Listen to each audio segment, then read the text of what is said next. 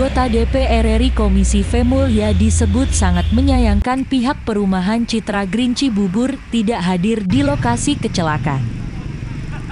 Balai Jalan Nasional ya, DKI Jawa Barat, tentunya,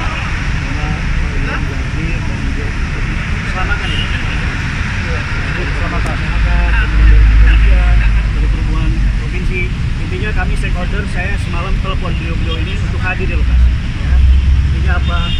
Pertama tentu kami mewakili eh, stakeholder yang bertanggung jawab terhadap eh, kegiatan transportasi ini mengucapkan turut berduka semoga almarhum almarhumah yang musibah eh, mengampuni kesalahan dan dosa-dosanya dan keluarga yang tinggalkan diberikan kesabaran.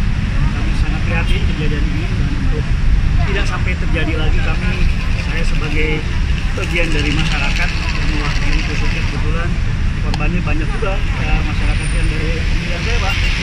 Pagi ini saya bisa acaranya banyak pemakaman saya informasi ke mereka nggak bisa lagi karena harus janjian dengan beliau-beliau. Jadi eh, ini pentingnya dan mengklarifikasi pentingnya koordinasi lintas kementerian lintas eh, stakeholder ya, bahwa pembangunan tidak boleh parsial harus berkoordinasi.